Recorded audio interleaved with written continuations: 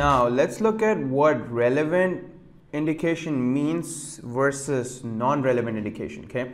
So relevant indication is any indication uh, liquid penetrant or magnetic particle examination with a major dimension greater than 1.6 mm which is 0.062 inch okay?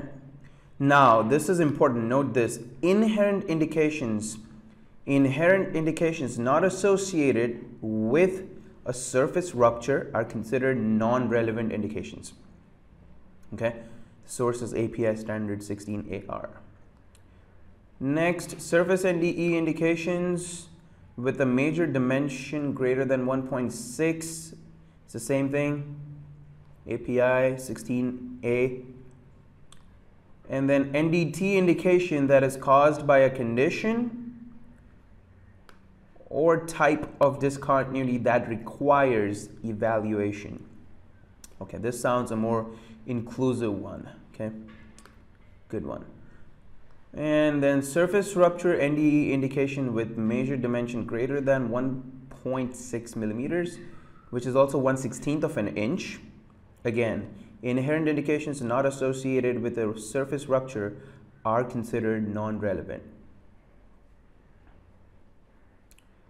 Now this one's even better one, okay? Only those indications with major dimensions greater than 1 16th of an inch shall be considered relevant. Inherent indications not associated with surface rupture.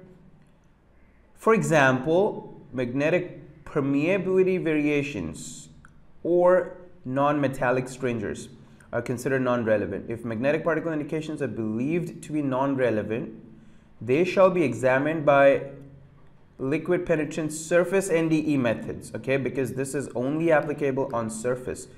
So that will make sure that it's a surface breaking flaw. So it shall be removed or re-inspected to prove the non-relevancy. Okay, so take a moment to understand what exactly relevant indication means as compared to non-relevant. Okay. Comparing that with non-relevant indication, um, magnetic particle indications or even liquid penetrant testing indications that can occur singly or in patterns as a result of leakage fields by conditions that require no evaluation okay such as changes in sections which means geometry basically. So indications that happen because of geometry changes in section of geometry of the part like keyways and drilled holes these are also going to give you indications. Those are typically non-relevant indications.